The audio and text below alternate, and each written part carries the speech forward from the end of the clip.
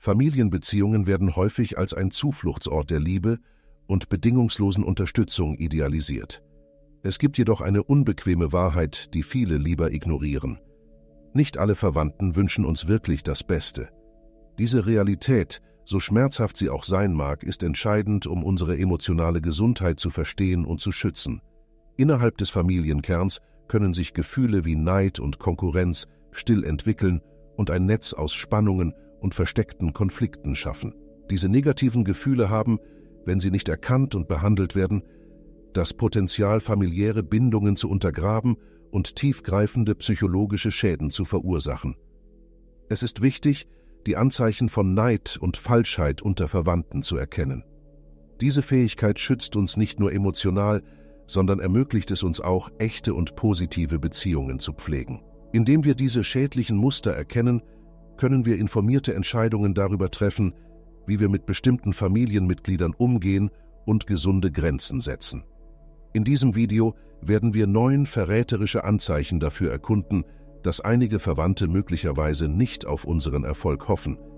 Diese subtilen, aber kraftvollen Indikatoren können Ihnen helfen, das komplexe Terrain familiärer Dynamiken besser zu navigieren. Bereiten Sie sich auf eine Reise der Selbsterkenntnis und emotionalen Ermächtigung vor. Haben Sie jemals ein Kompliment von einem Verwandten erhalten, das falsch oder übertrieben klang? Dies ist eines der subtilsten, aber aufschlussreichsten Anzeichen von Neid oder Falschheit in der Familie. Übertriebene Komplimente mögen auf den ersten Blick harmlos erscheinen, verbergen jedoch oft weniger edle Absichten. Wenn ein Verwandter sie ständig mit unverhältnismäßigen Lobeshymnen überschüttet, insbesondere in Situationen, die so viel Begeisterung nicht rechtfertigen, ist Vorsicht geboten. Dieses Verhalten kann ein Versuch emotionaler Manipulation sein. Das Ziel, ein falsches Gefühl der Sicherheit zu schaffen, um später ihr Vertrauen zu untergraben. Achten Sie auf den Tonfall und die Körpersprache bei diesen übertriebenen Komplimenten. Oft gibt es eine Diskrepanz zwischen den gesprochenen Worten und der Art und Weise, wie sie ausgedrückt werden. Ein gezwungenes Lächeln, ein ausweichender Blick oder eine subtile Spannung in der Stimme können auf fehlende Aufrichtigkeit hinweisen. Diese übertriebenen Komplimente können auch dazu verwendet werden, ein unausgewogenes Machtverhältnis zu etablieren. Indem der Verwandte sie auf ein unrealistisches Podest stellt, schafft er eine unmögliche Erwartung, die den Boden für zukünftige Kritik bereitet, wenn sie diesen überhöhten Standard unvermeidlich nicht erreichen. Darüber hinaus können unehrliche Komplimente als Werkzeug genutzt werden, um von ihren echten Erfolgen abzulenken. Indem sie sich auf triviale oder irrelevante Aspekte konzentrieren, vermeiden neidische Verwandte, ihre realen und bedeutenden Erfolge anzuerkennen. Der Schlüssel liegt darin, ein Gespür für Authentizität zu entwickeln. Echte Komplimente sind spezifisch, kontextuell und im Einklang mit der Situation. Sie hinterlassen kein unangenehmes Gefühl oder das Gefühl, dass etwas nicht stimmt.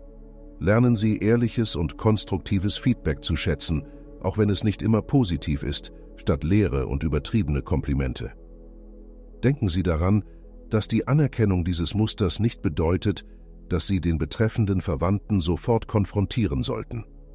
Nutzen Sie diese Information stattdessen, um Ihre Erwartungen anzupassen und Ihr emotionales Wohlbefinden zu schützen. Das Bewusstsein für dieses Verhalten ist der erste Schritt, um die komplexen Gewässer familiärer Beziehungen weiser zu navigieren. Eines der klarsten Anzeichen von familiärem Neid ist das auffällige Fehlen von Begeisterung, wenn Sie etwas Wichtiges erreichen. Stellen Sie sich die Szene vor.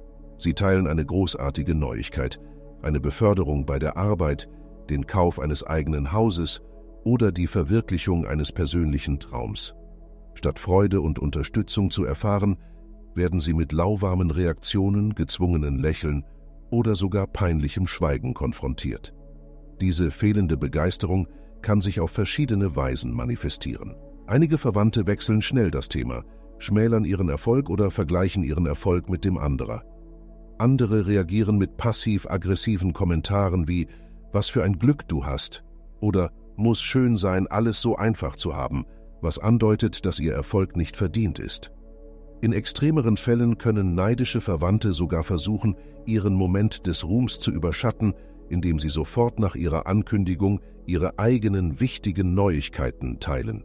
Diese Taktik der Ablenkung ist eine klare Form von Konkurrenz und Abwertung ihres Erfolgs. Es ist entscheidend zu verstehen, dass diese Reaktion nichts mit ihnen zu tun hat, sondern mit den Unsicherheiten und Frustrationen des betreffenden Verwandten. Neid entsteht oft aus einem tiefen Gefühl der Unzulänglichkeit oder der Angst, zurückgelassen zu werden. Um ihre emotionale Gesundheit zu schützen, ist es wichtig, einen Unterstützerkreis außerhalb der Familie zu schaffen. Suchen Sie Freunde und Mentoren, die Ihre Erfolge wirklich feiern. Diese Menschen sind entscheidend, um Ihr Selbstwertgefühl und Ihre Motivation hochzuhalten, besonders wenn die familiäre Unterstützung fehlt. Gleichzeitig üben Sie Mitgefühl. Erkennen Sie, dass der Neid des anderen ein Spiegelbild seiner eigenen inneren Kämpfe ist. Das rechtfertigt zwar nicht das negative Verhalten, kann Ihnen aber helfen, diese Reaktionen nicht als Spiegelbild Ihres eigenen Wertes zu internalisieren. Das Bewusstsein für dieses Muster ermöglicht es Ihnen, Ihre Erwartungen in familiären Beziehungen besser zu managen. Lernen Sie Ihre Erfolge unabhängig von den Reaktionen anderer zu schätzen. Ihr Erfolg ist gültig und verdient es, gefeiert zu werden, auch wenn nicht alle um Sie herum das zeigen können. Eines der toxischsten Verhaltensweisen in familiären Beziehungen ist die Verbreitung von Klatsch und negativen Kommentaren, wenn sie nicht anwesend sind. Diese schädliche Gewohnheit kann ihren Ruf untergraben und ein Umfeld des Misstrauens innerhalb der Familie schaffen. Stellen Sie sich vor, Sie erfahren, dass ein naher Verwandter verzerrte Geschichten über Sie verbreitet, Ihre Lebensentscheidungen kritisiert oder sogar peinliche Situationen erfindet. Dieses Verhalten zeigt nicht nur einen tiefen Mangel an Respekt, sondern auch einen bewussten Versuch, ihren Wert in den Augen anderer zu mindern. Familiäre Klatschgeschichten können viele Formen annehmen. Manchmal sind es versteckte Kritiken über ihr Aussehen, ihre Karriere oder ihre Beziehungen. In anderen Fällen können kleine Fehler, die sie gemacht haben, dramatisch übertrieben werden, um andere Verwandte zu unterhalten. Das Ziel ist immer dasselbe – ein negatives Bild von ihnen zu zeichnen. Es ist wichtig, auf die Anzeichen zu achten, dass dies geschieht. Sie können subtile Veränderungen im Verhalten anderer Familienmitglieder bemerken, seltsame Blicke oder Kommentare, die einen unbekannten Kontext haben. Manchmal kann ein gutmeinender Verwandter sie sogar warnen, was über sie gesagt wird. Mit familiärem Klatsch umzugehen erfordert einen sorgfältigen Ansatz. Den Klatsch direkt zu konfrontieren, ist nicht immer die beste Strategie, da dies zu Leugnung und mehr Konflikten führen kann. Konzentrieren Sie sich stattdessen darauf, starke und vertrauenswürdige Beziehungen mit den Familienmitgliedern aufzubauen, von denen Sie wissen, dass sie loyal und ehrlich sind. Eine weitere effektive Strategie ist es, selektiv mit Informationen umzugehen, die Sie teilen. Begrenzen Sie den Zugang zu persönlichen Details Ihres Lebens auf diejenigen, die sich als vertrauenswürdig erwiesen haben. Das bedeutet nicht, sich komplett zu verschließen, sondern einen inneren Vertrauenskreis innerhalb der Familie zu schaffen. Wenn Sie mit den Auswirkungen bösartiger Klatschgeschichten konfrontiert werden, bleiben Sie fest in Ihrer Wahrheit. Lassen Sie nicht zu, dass falsche Erzählungen Ihr Selbstbild prägen oder Ihre Entscheidungen beeinflussen. Ihre Integrität und Ihr Charakter werden im Laufe der Zeit für sich selbst sprechen. Eine gleichgültige Haltung gegenüber Klatsch zu entwickeln, kann befreiend sein. Verstehen Sie, dass Menschen, die sich an solchem Verhalten beteiligen, oft ihre eigenen Unsicherheiten und Frustrationen projizieren.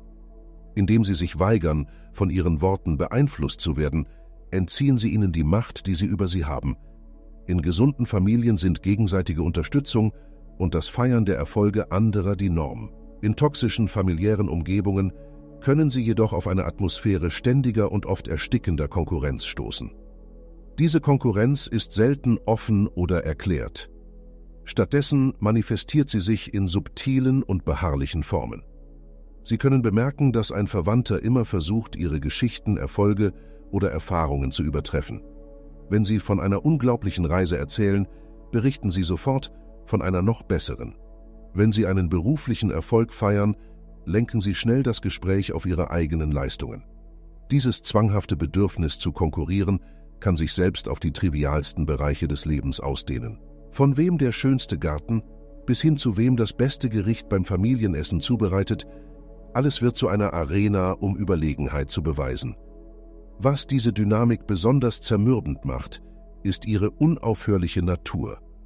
Unabhängig vom Kontext oder der Situation findet der konkurrenzorientierte Verwandte immer einen Weg, die Interaktion in einen Vergleich zu verwandeln, indem er als Sieger hervorgehen muss. Diese übermäßige Konkurrenz verdeckt häufig tiefsitzende Unsicherheiten. Der betreffende Verwandte könnte mit Gefühlen der Unzulänglichkeit oder der Angst kämpfen, übertroffen zu werden. Indem sie ständig versuchen, sich als überlegen zu beweisen, suchen sie nach äußerer Bestätigung, um eine innere Leere zu füllen. Um mit diesem Verhalten umzugehen, ist es wichtig, sich auf ihr eigenes Wachstum und ihre eigenen Erfolge zu konzentrieren. Vermeiden Sie es, in die Falle zu tappen, diese unsichtbaren Vergleiche gewinnen zu wollen. Erkennen Sie, dass Ihre Reise einzigartig ist und dass Erfolg kein Nullsummenspiel ist. Klare Grenzen zu setzen, ist ebenfalls unerlässlich.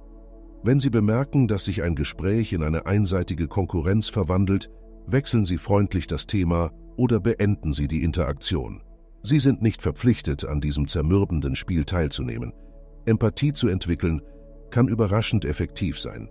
Manchmal kann das verbale Anerkennen der Erfolge des konkurrenzorientierten Verwandten sein Bedürfnis, sich zu beweisen, mildern.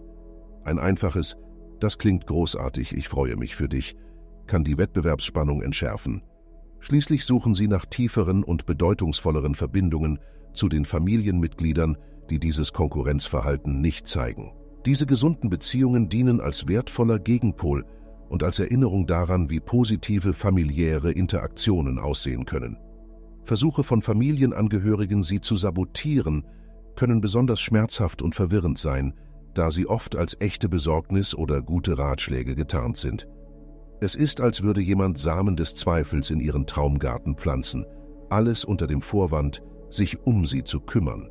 Stellen Sie sich vor, Sie stehen kurz davor, einen großen Schritt im Leben zu machen, vielleicht ein neues Geschäft zu gründen, in eine andere Stadt zu ziehen oder eine ernsthafte Beziehung zu beginnen. Plötzlich taucht ein Verwandter auf und überschüttet Sie mit einer Flut von Ratschlägen und Sorgen. Auf den ersten Blick mag es so aussehen, als wollten Sie nur Ihr Bestes, doch bei genauerem Hinsehen erkennen Sie, dass diese Worte voller Negativität und Entmutigung sind. Sätze wie Bist du sicher, dass du dafür bereit bist? Oder Glaubst du nicht, dass du ein bisschen zu ehrgeizig bist? sind klassische Beispiele subtiler Sabotage.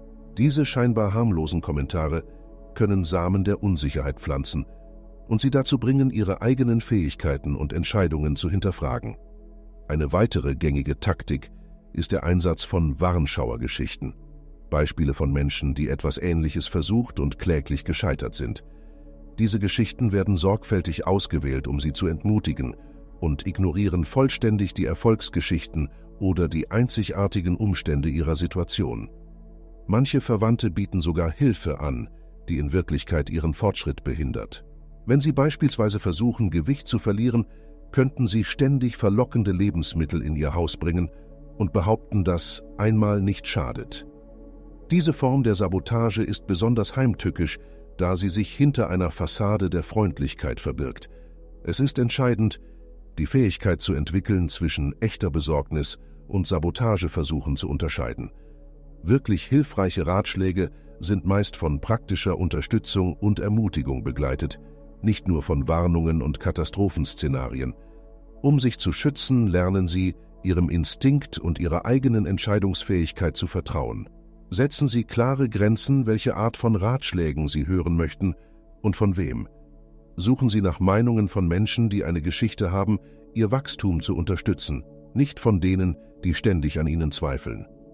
Wenn Sie mit Sabotageversuchen konfrontiert werden, konzentrieren Sie sich auf Ihre Ziele und die Gründe, warum Sie diesen Weg gewählt haben.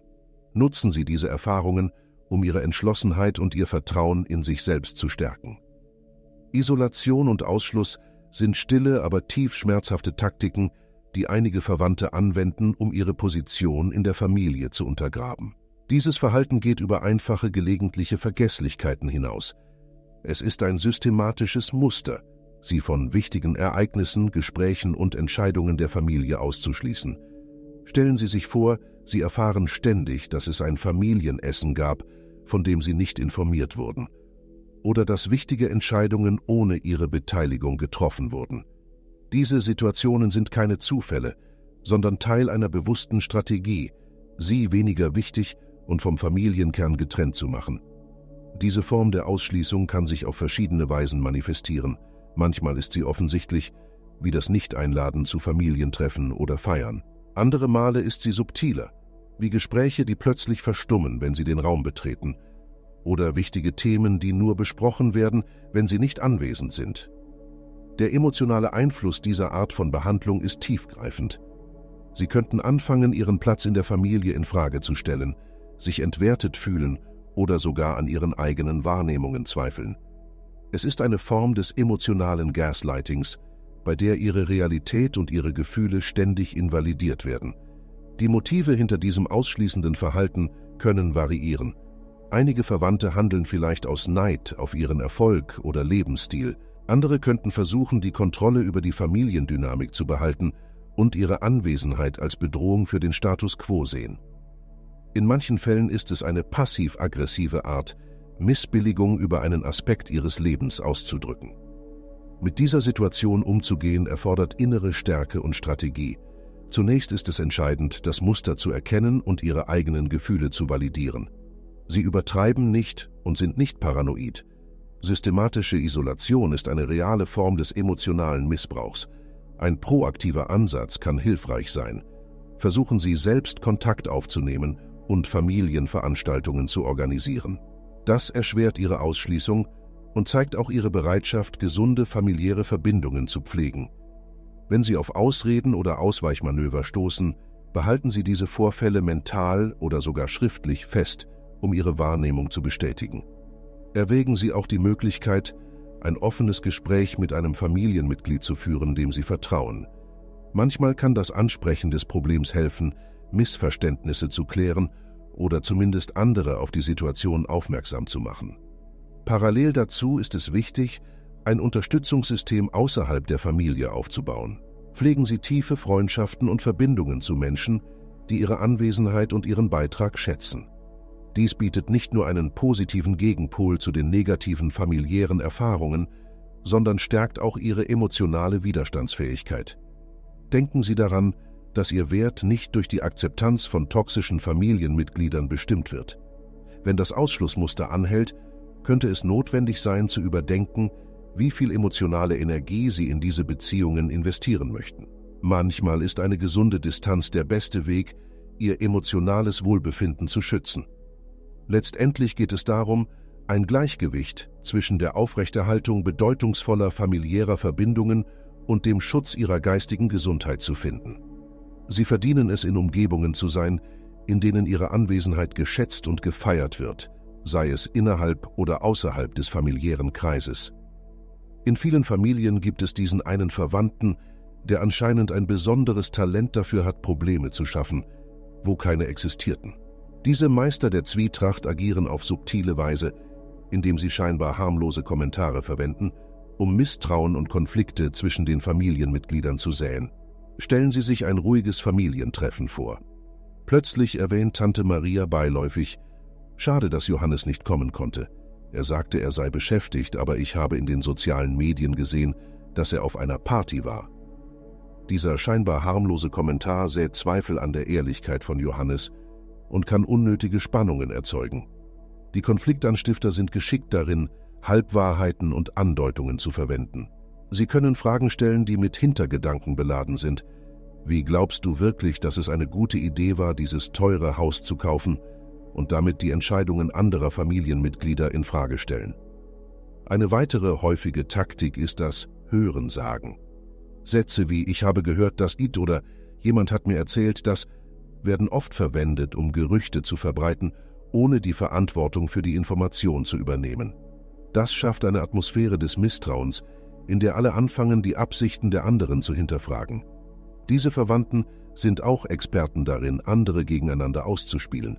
Sie können ein Familienmitglied übermäßig in Gegenwart eines anderen loben und so Vergleiche und Ressentiments schaffen.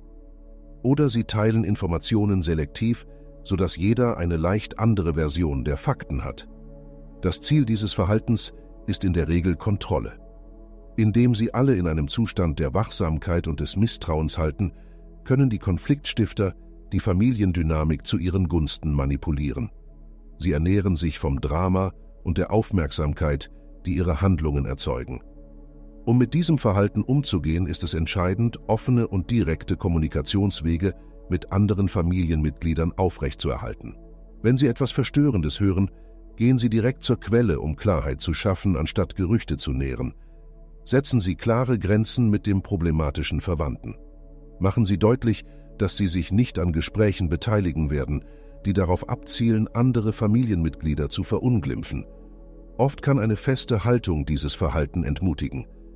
Pflegen Sie eine Kultur der Transparenz und Ehrlichkeit in Ihren eigenen familiären Interaktionen. Seien Sie ein Vorbild für direkte und respektvolle Kommunikation. Das kann andere dazu inspirieren, dasselbe zu tun und eine gesündere Familienkultur zu schaffen. Achten Sie auf Ihre eigenen Reaktionen. Die Konfliktstifter suchen oft nach emotionalen Reaktionen. Indem sie ruhig bleiben und sich nicht einlassen, nehmen sie ihnen den Treibstoff, der ihre Spiele antreibt. Es ist wichtig zu erkennen, dass in einigen Fällen Distanzierung notwendig sein kann. Wenn ein Verwandter kontinuierlich Stress und Konflikte in ihr Leben bringt, ist es legitim in Erwägung zu ziehen, ihre Interaktionen mit dieser Person zu begrenzen, um ihre geistige Gesundheit und die familiäre Harmonie zu schützen. Indem sie dieses toxische Verhalten angehen, schützen sie nicht nur sich selbst, sondern tragen auch dazu bei, ein gesünderes und harmonischeres familiäres Umfeld für alle zu schaffen. Der Schlüssel liegt darin, die Muster zu erkennen, fest zu ihren Werten zu stehen und eine offene und ehrliche Kommunikation zu fördern. Ein besonders aufschlussreiches Zeichen für Falschheit und fragwürdige Absichten in familiären Beziehungen ist das drastische Verhalten von bestimmten Verwandten, wenn sie anwesend sind. Dieses Phänomen, oft subtil, kann äußerst verwirrend und schädlich für die Familiendynamik sein. Stellen Sie sich vor, Sie betreten einen Raum und bemerken, dass sich die Atmosphäre sofort ändert. Lebhafte Gespräche verstummen abrupt, Lächeln werden gezwungen und eine spürbare Spannung liegt in der Luft. Diese Art von Reaktion ist kein Zufall. Es ist ein klares Zeichen dafür, dass etwas nicht stimmt. Verwandte, die sich in ihrer Gegenwart radikal anders verhalten, tragen im Grunde genommen eine Maske. Wenn sie nicht in der Nähe sind, können sie offen, entspannt und authentisch sein. Sobald sie jedoch auftauchen, nehmen sie eine sorgfältig konstruierte Persona an. Diese Verhaltensdifferenz ist ein starkes Indiz für Falschheit und verborgene Absichten. Beobachten Sie aufmerksam die Veränderungen in der Körpersprache. Ein Verwandter, der normalerweise ausdrucksstark und gestikulierend ist, kann plötzlich zurückhaltend und angespannt wirken.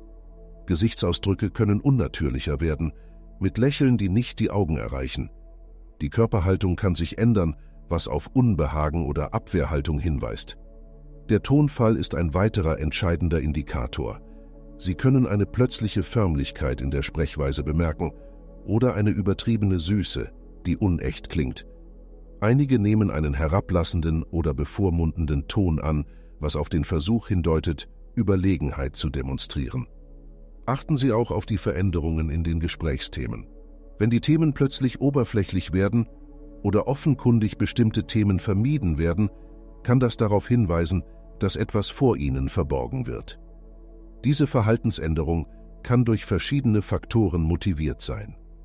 Es kann ein Zeichen tiefen Neids sein, bei dem sich der Verwandte durch ihren Erfolg oder ihr Glück bedroht fühlt. Es kann auch ein Hinweis auf Schuld sein. Vielleicht haben sie schlecht über sie gesprochen und fürchten, entdeckt zu werden. In einigen Fällen kann diese Verhaltensänderung eine Manipulationstaktik sein. Indem sie ein Umfeld der Falschheit schaffen, versuchen diese Verwandten möglicherweise, ihre Wahrnehmung der familiären Realität zu kontrollieren und sie in Zweifel darüber zu halten, was wirklich vor sich geht. Es ist wichtig, diese Zeichen nicht zu ignorieren. Obwohl es verlockend sein kann, diese Veränderungen als bloße Eigenheiten oder Missverständnisse abzutun, sind konsistente Muster von doppeltem Verhalten selten unschuldig. Um mit dieser Situation umzugehen, bleiben Sie wachsam, aber vermeiden Sie es, paranoid zu werden. Beobachten Sie Muster im Laufe der Zeit, nicht nur einzelne Vorfälle. Vertrauen Sie Ihrem Instinkt. Wenn etwas falsch erscheint, ist es das wahrscheinlich auch. Überlegen Sie, ob Sie das Thema direkt mit dem betreffenden Verwandten ansprechen, wenn Sie sich sicher dabei fühlen. Manchmal kann ein offenes Gespräch Missverständnisse klären oder Probleme aufdecken, die gelöst werden können. Wenn das Verhalten anhält, kann es notwendig sein, klare Grenzen zu setzen. Das könnte bedeuten, die Zeit, die Sie mit diesen Verwandten verbringen, zu begrenzen oder selektiver mit den Informationen umzugehen, die Sie mit ihnen teilen. Letztendlich ist es entscheidend, diese Art von Falschheit zu erkennen und damit umzugehen, um ihre emotionale Gesundheit zu schützen und authentische, gesunde familiäre Beziehungen aufrechtzuerhalten. Schätzen Sie diejenigen, die in ihrem Verhalten konsistent und in ihren Interaktionen mit Ihnen aufrichtig sind. Am Ende dieser Reise der Selbsterkenntnis und familiären Weisheit haben wir wichtige Zeichen erkundet, die auf Neid und Falschheit in unseren familiären Beziehungen hinweisen. Dieses Bewusstsein ist nicht nur wertvoll, sondern unerlässlich für unser mentales und emotionales Wohlbefinden. Es ist ein schmerzhafter, aber notwendiger Prozess, Verwandte zu identifizieren, die nicht wirklich unser Bestes wollen. Es ist wie das Entfernen eines Pflasters. Es kann im Moment wehtun, ist aber entscheidend für die Heilung. Indem Sie diese toxischen Muster erkennen, rüsten Sie sich mit der Fähigkeit aus, Ihren emotionalen Raum zu schützen und ein Umfeld zu schaffen, das Ihr persönliches Wachstum fördert. Lassen Sie sich nicht täuschen, dass Blutbande automatisch gute Absichten garantieren. Die Realität ist, dass einige familiäre Beziehungen tief schädlich für unser Wohlbefinden sein können. Es ist wichtig, ehrlich zu bewerten, welchen Einfluss jeder Verwandte auf ihr Leben hat. Manchmal ist das Mutigste und Gesündeste, was wir tun können, klare Grenzen zu setzen oder uns von Beziehungen zu distanzieren, die uns ständig herabsetzen oder sabotieren. Diese Distanzierung muss nicht dramatisch oder dauerhaft sein. Es kann einfach bedeuten, die Zeit zu reduzieren, die man miteinander verbringt, die geteilten Informationen zu begrenzen oder die Erwartungen an bestimmte Verwandte anzupassen. Das Ziel ist es, einen sicheren Raum zu schaffen, in dem sie ohne Negativität und schädlichen Wettbewerb gedeihen können. Gleichzeitig kann dieser Reflexionsprozess zu überraschenden und positiven Entdeckungen führen. Sie können Verwandte identifizieren, die wahre Stützen in ihrem Leben sind, die ihre Erfolge wirklich feiern und in schwierigen Zeiten Trost bieten. Diese Beziehungen sind es wert, gepflegt und gestärkt zu werden. Die Suche nach einem engen Kreis, der auf wahrer Unterstützung und Positivität basiert, ist eine fortlaufende Reise. Begrenzen Sie sich nicht nur auf die biologische Familie. Enge Freunde, Mentoren und sogar Interessengemeinschaften können eine gewählte Familie bilden, die unbefriedigende familiäre Beziehungen ergänzt oder ersetzt. Denken Sie daran, dass Sie es verdienen, von Menschen umgeben zu sein, die an Sie glauben, die Ihr Wachstum fördern und sich aufrichtig über Ihren Erfolg freuen. Geben Sie sich nicht mit weniger zufrieden. Ihr Glück und Ihre persönliche Erfüllung sind zu wertvoll, um von toxischen Beziehungen, selbst familiären, beeinträchtigt zu werden. Zum Abschluss möchte ich Sie ermutigen, tief über Ihre familiären Beziehungen nachzudenken. Nutzen Sie das hier erworbene Wissen als Kompass, um in diesen komplexen Gewässern zu navigieren. Seien Sie mutig beim Setzen von Grenzen, mitfühlend beim Umgang mit den Schwächen anderer, aber fest in der Verteidigung Ihres Wohlbefindens. Sie haben die Macht, Ihr familiäres und soziales Umfeld zu gestalten. Nutzen Sie diese Weisheit. Pflegen Sie Beziehungen, die Sie erheben, die Sie inspirieren, Ihre beste Version zu sein. Das Leben ist zu kurz und wertvoll, um im Schatten von Neid und Falschheit gelebt zu werden. Wählen Sie Authentizität, gegenseitige Unterstützung und wahre Liebe. Ihr zukünftiges Ich wird Ihnen für diese mutige und transformative Wahl danken.